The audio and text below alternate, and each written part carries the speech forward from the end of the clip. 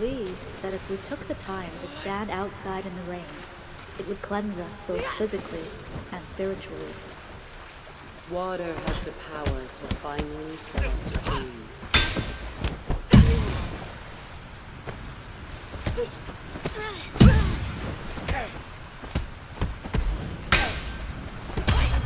It represents birth and the cleansing of a darkened soul.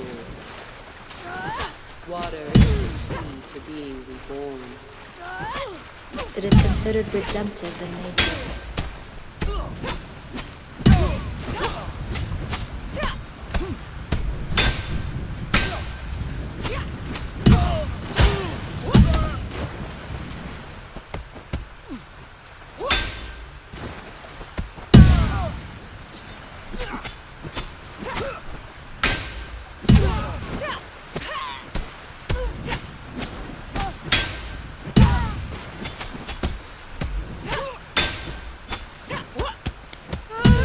The darkness itself, we must first embrace it, or the shadows of the past consume us whole.